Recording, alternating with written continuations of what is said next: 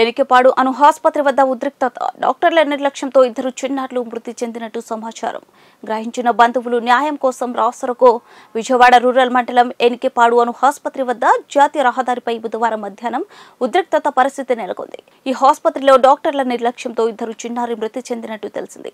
దీంతో తీవ్ర ట్రాఫిక్ అంతరాయం ఏర్పడింది. పోలీసులు ఆందోళనకారులు అక్కడి నుంచి తొలగించడానికి శతవిధాలుగా ప్రయత్నం చేస్తున్నారు.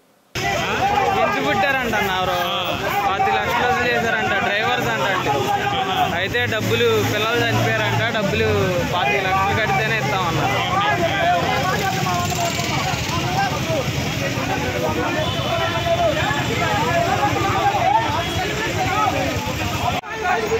Yeah.